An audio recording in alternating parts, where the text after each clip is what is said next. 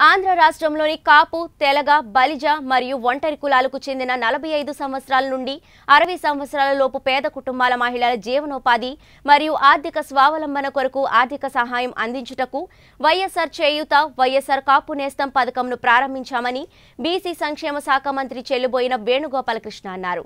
ఈ పథకం క్రింద రెండు వేల పంతొమ్మిది ఇరవై ఆర్థిక సంవత్సరానికి గాను రెండు లక్షల ముప్పై ఐదు వేల ఎనిమిది వందల డెబ్బై మూడు మంది అర్హులైన కాపు తెలగ బలిజ మరియు ఒంటరి కులస్తులకు చెందిన లబ్ధిదారులను గుర్తించి వారికి సహాయం అందించడం జరిగిందని తెలిపారు.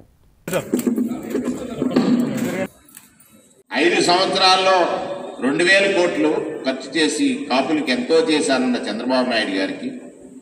సంవత్సర కాలంలో ఐదు వేల ఐదు వందల నలభై రెండు కోట్లు ఖర్చు చేసి కాపుల పట్ల కాపు సోదరీమణుల పట్ల ఎవరైతే పేదరికంలో ఉన్నారో వారి పేదరికాన్ని వారింటి వారి ఇంటి నుంచి దూరం చేసి వారిని కూడా సమాజంలో ఉన్నతులుగా చూడాలనేటువంటి జగనన్న లక్ష్యానికి వ్యత్యాసం ఒకసారి గమనించమని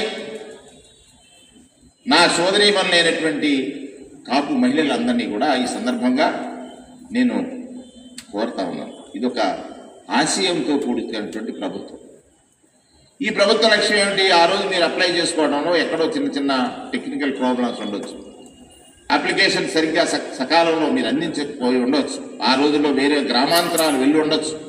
ఇవన్నీ కూడా ఒక మాస కాలంలో చేసిన తర్వాత ఇవాళ తొంభై ఐదు వేల మందికి మళ్ళీ ఈరోజు ఈ అర్హత లభించింది. మీ అందరికీ నేను ఈ సందర్భంగా శుభాకాంక్షలు తెలియజేస్తా ఉన్నాను. ఇది జగనన్న మీ అన్న. జగనన్న ఇచ్చిన మాట నూటికి నూరు శాతం అమలు చేసేటువంటి రోజు ఈ రోజుగా నేను అభిమానం ఇస్తా ఉన్నాను. సుమారుగా పదిహేను వేల రూపాయలు మీ ఖాతాలో జమ అవుతుంది ఇప్పుడే మా సెక్రటరీ గారు చెప్పి జగనన్న లక్ష్యం ఏమిటి? జగన్న ఈ ఈ పథకాలు మీకు ఇవ్వడం వల్ల ఉద్దేశం ఏమిటి? మిమ్మల్ని చిరు వ్యాపారులుగా తయారు చేసి స్వయం శక్తి సం- స్వయం శక్తితో మీరు జీవించాలని మీ కుటుంబాలని పోషించుకోవాలని.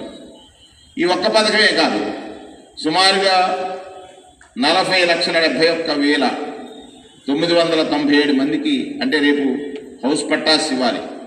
మిమ్మల్ని ఒక సొంత ఇంటికి భూమి సొంత ఇంటికి స్థలం కలిగిన వాళ్ళుగా చూడాలని జగనన్న ప్రయత్నం చేస్తే కోర్టుల ద్వారా అడ్డుకున్నటువంటి రాక్షస క్రీడ. అంటే అనాది కాలంగా మనం చూస్తా ఉన్నాం. ఒక సత్కార్యం అంటే మంచి కార్యక్రమం కోసం ఏదైనా ఒక యజ్ఞం తలపెట్టినా యాగం తలపెట్టినా తపస్సు తలపెట్టినా దాన్ని భగ్నం చేయడానికి రాక్షసులు వస్తారు. అటువంటి ఒక రాక్షస క్రీడ జరుగుతూ ఉంది.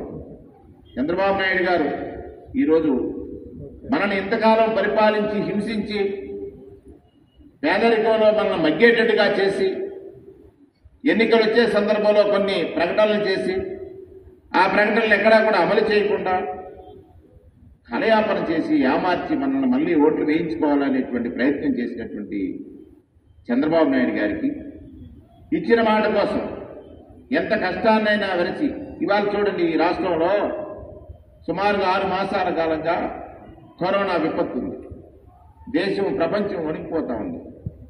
ఈ దేశంలో ఉన్న అన్ని రాష్ట్రాల ముఖ్యమంత్రులు కానీ